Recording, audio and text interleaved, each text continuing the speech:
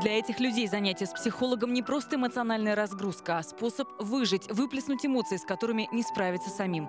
Трагические события последних двух недель для многих стали самым сильным переживанием. Мы проведем акцию «Мир против террора» МПТ. Люди должны быть, дружить. А получилось так, что люди стали воевать друг с другом. Это некрасиво, негуманно. Антон тут рядом, уже считает своеобразный бренд Петербурга. Единственный в своем роде российский центр для взрослых людей с аутизмом. И, по сути, дизайн-бюро с уникальным и узнаваемым стилем. Это э, декораторская мастерская. Здесь ребята занимаются тем, что расписывают различные поверхности и заготовки. Вот ваш известный дизайн, ваш уже, можно сказать, бренд. Э, да, городской, это узнаваемый такой стиль. Это и игрушки, и там полки. Вот. Ой, Василий, Здравствуйте, разреши.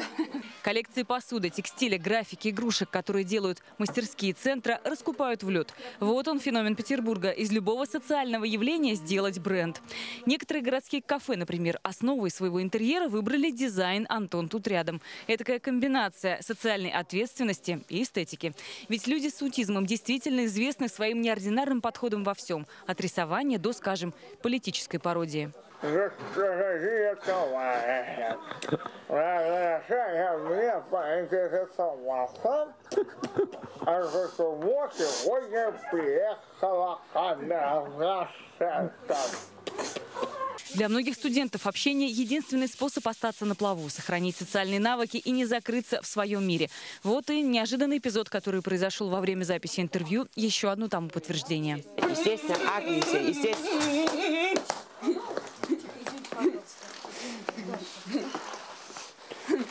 Антон – герой известного фильма, давшего название самому центру «Антон тут рядом». Петербургский режиссер Любовь Аркус показала жизнь молодого человека с аутизмом, с чего, по сути, и начался весь социальный проект.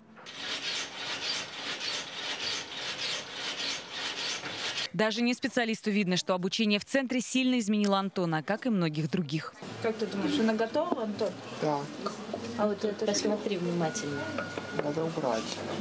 За последние 15 лет из мало кому знакомого диагноза аутизм стал масштабной проблемой. По статистике, каждый 68-й ребенок в мире рождается с подобным нарушением.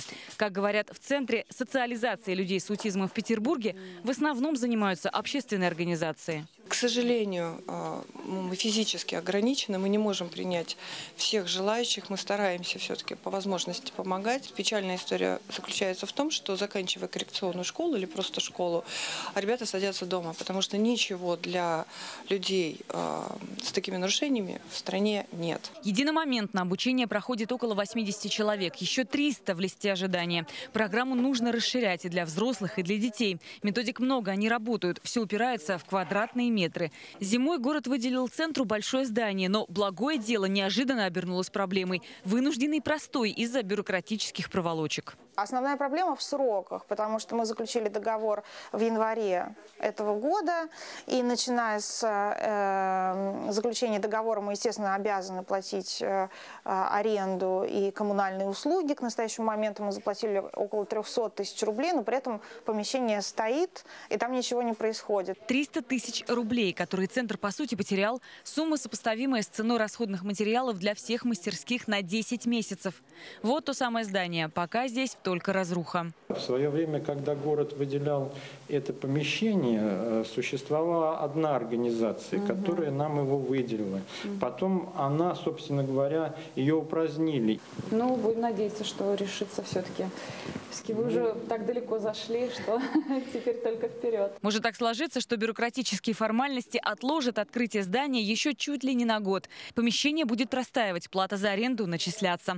А пока студенты центра осваивают другие площадки. Благо, друзей в творческой среде хватает. Вы все, что вы делаете, вы делаете для, для него, да, потому что это ему препятствие. Режиссер БДТ Борис Павлович готовит постановку, в которой люди с аутизмом играют наравне с артистами театра. То, что ты никогда не можешь угадать, э, как при- в каком преломлении, под каким углом зрения окажется даже какая-то самая простая вещь, вот это и есть, наверное, самый главный интерес поиска. Премьеру спектакля через месяц увидят участники Петербургского международного культурного форума. Такие разные люди в абсолютной гармонии на одной сцене.